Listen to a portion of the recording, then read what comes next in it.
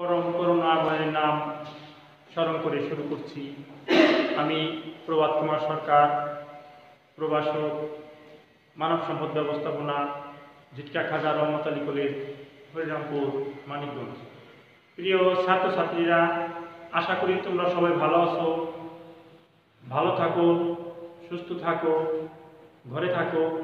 এই কামনায় আগে তোমাদের প্রতি রইল। বর্তমান সরকারের বিশ্ব করোনা ভাইরাসের বিশ্ব আক্রান্ত বাংলাদেশও এর বাইরে কোনো দেশ নয়। বাংলাদেশও করোনা আক্রান্ত।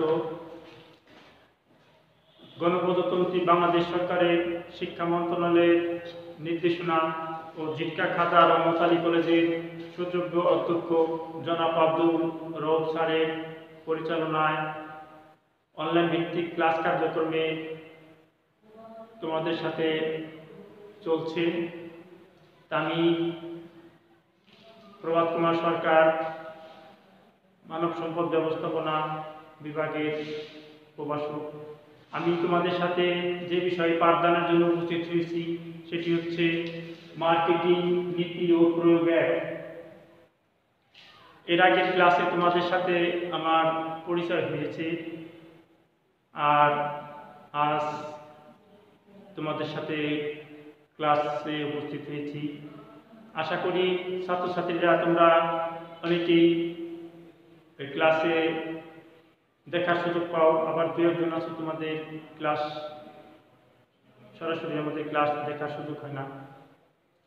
এখন আজকের বিষয়ে, যে বিষয়ে তোমাদের সাথে আমি আলোচনার জন্য উপস্থিত হয়েছি, সেটি হচ্ছে মার্কেটিং পরিস্থিতি, এর প্রশ্ন বন্টন কাকে বলে? সংক্ষিপ্ত প্রশ্ন। আজকে যে প্রশ্নগুলি আলোচনা করব, সবগুলোই সংক্ষিপ্ত প্রশ্ন।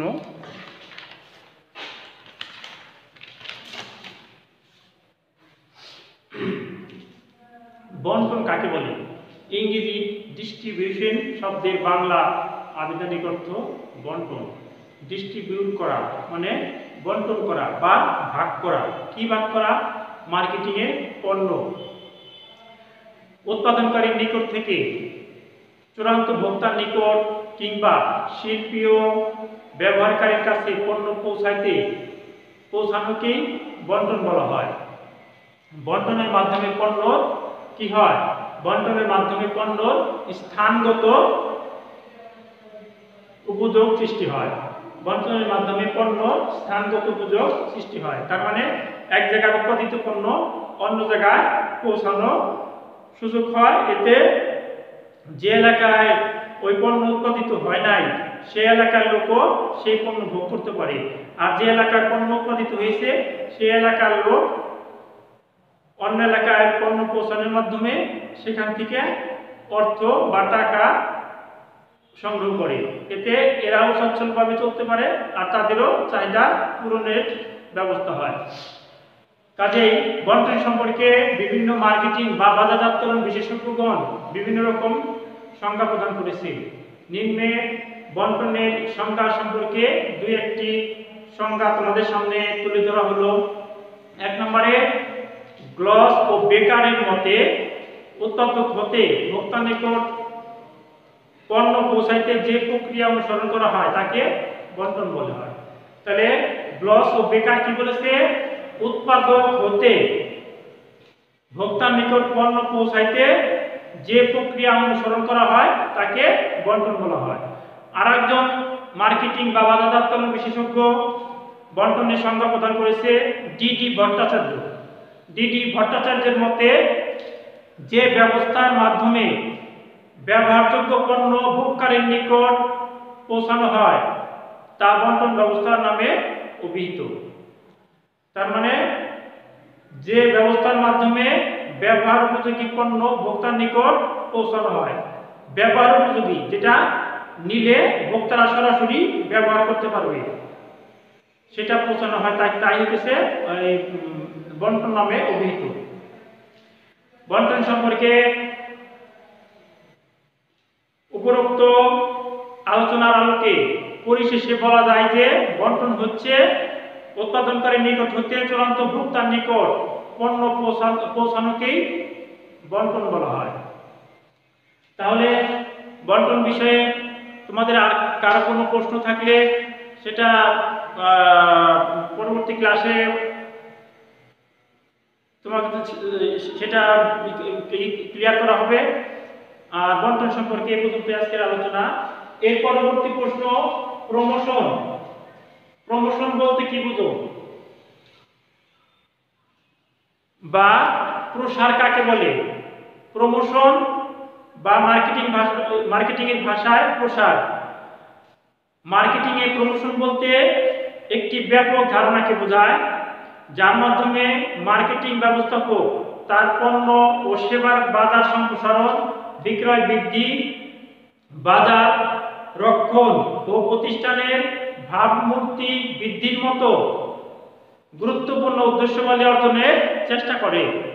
এই মার্কেটিং প্রমোশনের মাধ্যমে উৎপাদনকারী উৎপাদিত পণ্য ব্যবস্থাপক, উৎপাদন, উৎপাদকের উৎপাদিত পণ্য বিক্রয় বৃদ্ধি, বাজার সম্প্রসারণ এবং প্রতিষ্ঠানের ভাবমূর্তি বৃদ্ধির মতো গুরুত্বপূর্ণ কাজে সম্পৃক্ত থাকে। বিভিন্ন বাজারজাতকরণ বিশেষ বিশেষজ্ঞ প্রমোশনের বিভিন্ন রকম সংজ্ঞা প্রদান করেছেন। নিম্নে একজন মার্কেটিং বিশেষজ্ঞ প্রমোশনের সংজ্ঞা তুলে ধরা হলো ফিলিপস কটলারের মতে, যে কাজের মাধ্যমে কোম্পানি পণ্যর গুণাবলী প্রচার এবং লক্ষ্যস্থিত গ্রাহকদের পরিচিত করার দায়ভার গ্রহণ করে তাকে প্রমোশন বলে। সুতরাং উপরোক্ত আলোচনার আলোকে পরিশেষে আমরা বলতে পারি, যে সকল পণ্য বা সেবার চাহিদা, সৃষ্টি, বিক্রয় বৃদ্ধি, বাজার সম্প্রসারণ ও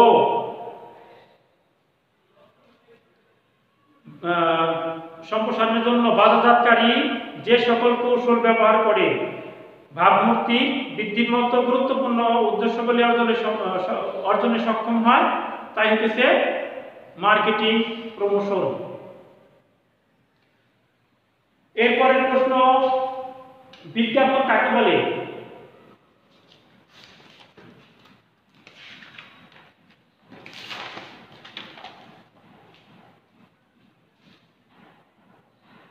বিজ্ঞাপন কাকে বলে বা বিজ্ঞাপন বলতে কি বুঝো বিজ্ঞাপন মার্কেটিং প্রমোশনের একটি গুরুত্বপূর্ণ হাতিয়ার। বিজ্ঞাপন সম্পর্কে আমরা কম বেশি সবাই জানি, কিন্তু এটা গুছিয়ে বলা আমাদের জন্য একটু কষ্ট, যেটা আমরা এখন শিখে নেব, তাই না? হ্যাঁ ইংরেজি বিজ্ঞাপনের বিজ্ঞাপন হচ্ছে বাংলা শব্দ, এই ইংরেজি আধুনিক ইংরেজি শব্দ হচ্ছে অ্যাডভার্টাইজমেন্ট অ্যাডভার্টাইজমেন্টের বাংলা অর্থ হচ্ছে বিজ্ঞাপন। আমরা যখন টেলিভিশন দেখি, তখন মাঝে একটু যে বিষয়টা দেখতে থাকি, মাঝে একটু সে বিষয়টা বাদ রেখে, বন্ধ রেখে অন্য একটা পণ্য বিক্রয় বিক- বিক্রয়ের জন্য প্রচার প্রচারণা যে টেলিভিশনের মাধ্যমে চালানো হয়, সেটা হইতেছে বিজ্ঞাপন। বিজ্ঞাপনের জন্য কিছু সময় বিরতি। সেটা আমরা বুঝি। তাহলে বিজ্ঞাপন মার্কেটিং প্রমোশনের একটি গুরুত্বপূর্ণ হাতিয়ার হিসেবে ব্যবহৃত হয়। বিজ্ঞাপন হল পণ্য বা সেবার চাহিদা সৃষ্টি ও বিক্রয় বৃদ্ধির গুরুত্ব অন্যতম উপাদান স্বল্পতম সময়ে অসংখ্য গ্রাহকদের পণ্য সম্পর্কে অবহিত করাই হতেছে বিজ্ঞাপন।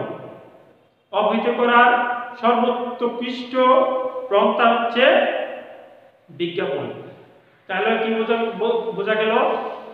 স্বল্পতম সময়ে অসংখ্য গ্রাহকদের মধ্যে পণ্য সম্পর্কে পরিচিতি এবং বিক্রয় বৃদ্ধির জন্য যে সমস্ত কৌশল অবলম্বন করা দরকার, তা অবলম্বন করা হইতেছে বিজ্ঞাপন। বিজ্ঞাপন সম্পর্কে বিভিন্ন মার্কেটিং বা বাজারজাতকরণ বিশেষজ্ঞগণ বিভিন্ন রকম সংজ্ঞা প্রদান করেছে নিম্নে সংজ্ঞাগুলো উল্লেখ করা হলো। এক নম্বরে বলছে কি, ববি এবং থিলের মতে নির্দিষ্ট বাজার কেন্দ্রিক ব্যয়িত নৈভিত্তিক যোগাযোগকে বিজ্ঞাপন বল- আর একজন বাজারজাতকরণ বিশেষজ্ঞ এম রোজেনবার্গ এর মতে বিজ্ঞাপন বলতে অর্থ ব্যয়ের নৈমিত্তিক উপায়ে পণ্য উপস্থাপনা উপস্থাপন ও উন্নয়নকে বোঝায়। পরিশেষে বলা যায় যে উৎপাদক বা প্রতিষ্ঠান কর্তৃক অর্থ ব্যয়ের মাধ্যমে নৈবেত্তিক উপায়ে পণ্য, সেবা বা ধারণা উপস্থাপনের মাধ্যমে সম্ভাব্য ক্রেতাকে প্রকৃত ক্রেতায় পরি- সম্ভাব্য ক্রেতাকে প্রকৃত ক্রেতায় পরিণত করার কৌশলই হচ্ছে বিজ্ঞাপন। সম্ভাব্য ক্রেতা বলতে আমরা এখানে কি বুঝি? সম্ভাব্য ক্রেতা বলতে পণ্য ক্রয় করার সম্ভাবনা আছে, ক্রয় করতেও পারে, ক্রয় নাও করতে পারে। সেটা হলো সম্ভাব্য ক্রেতা। আর সম্ভাব্য ক্রেতাকে প্রকৃত ক্রেতায় পরিণত করা কৌশল। মানে তার কেনার তেমন আগ্রহ নাই, সে সেটা সম্পর্কে জানে, বুঝে, তাকে যদি আরেকটু বুঝে বলা হয়, সে ক্রয় করতে প্রস্তুত বা সে পণ্য ক্রয় করবে। সেটা হচ্ছে বিজ্ঞাপনের কারণে হলো। আরেকটা বিষয়, তাহলে বিজ্ঞাপন হতেছে স্বল্পত, স্বল্পতম সময়ে অসংখ্য গ্রাহককে পণ্য সম্পর্কে পরিচিতি এবং পণ্য ক্রয় করার মতো মানসিকভাবে প্রস্তুতি নেওয়ার জন্য যে কৌশল অবলম্বন করা হয়, তাই হচ্ছে বিজ্ঞাপন। নেক্সট এবং সর্বশেষ আরেকটা প্রশ্ন কারবারের জগতে ভোক্তারাই রাজা? ব্যাখ্যা করো। এটা একটা কোটেশনের মধ্যে আছে। তার মানে এটা কারও উক্তি। এই উক্তির পিছনে আমরা যুক্তি দাঁড় করাবো। কারবারি জগতে ভোক্তারাই রাজা? আমরা সাধারণত বুঝি, উৎপাদনকারী পণ্য উৎপাদন করে বিধায় আমরা সেই পণ্য ক্রয় করি। আর উৎপাদনকারী পণ্য উৎপাদন করে কাদের উদ্দেশ্যে?